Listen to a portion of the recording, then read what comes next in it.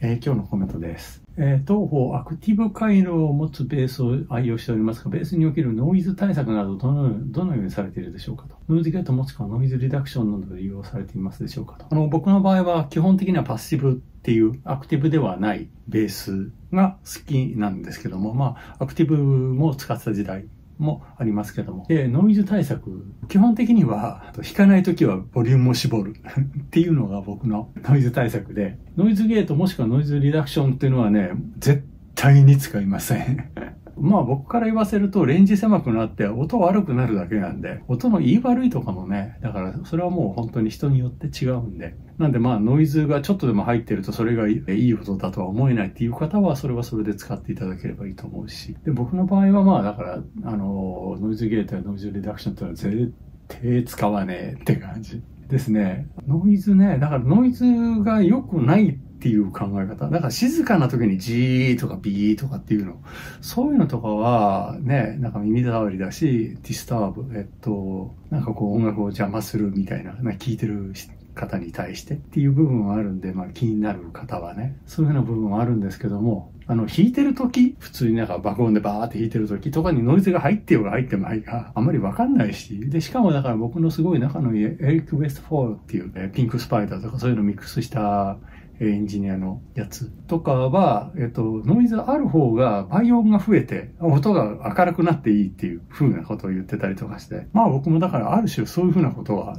一理あるな、一理あるなっていうか好きだなって思ったりします。まあね、そのノイズってのもだから気になるかならないかっていう部分。昔僕はポンタさん、村上修一さんと一緒になんかバンドでやってたことが一時期ちょっとだけあったんですけども、その時は高円寺の十徳っていうあの、ライブハウスってよくやってて。で、その時に、そこのなんか、照明をちょっと半分ぐらい暗くした感じになると、照明のノイズがめちゃくちゃ電源に乗るんですよね。そうすると、ベースにジーっていうノイズがすごい乗るんですよね。なんですけども、まあ、爆音でやってる時っていうのは、えー、そんなものは全然気にならないし、静かになった時、そのバンドっていうのはすごい、だからダイナミックスが広いバンドで、なんで小さい音っていうのもすごい局面としてあるんですよね。で、その時はトーンコントロールを絞る。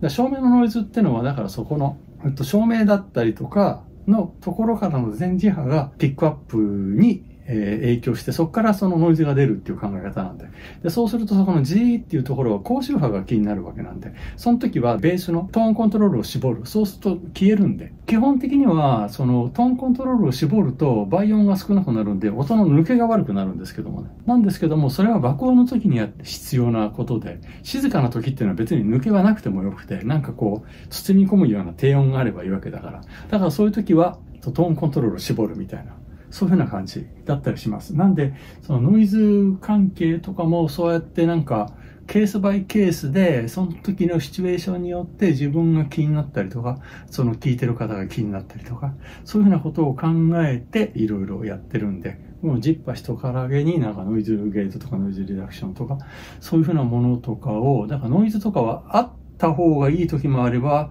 あったら嫌な時もあるっていう、そういう考え方で、ノイズというものが、えー、良くないものだっていう、そういう考え方ではなかったりします。はい。正解っていうのがね、ある世界に生きてるとそうなっちゃいますけども、そうじゃないところで考えてるんで、そういうふうな話になります。はい。ありがとうございます。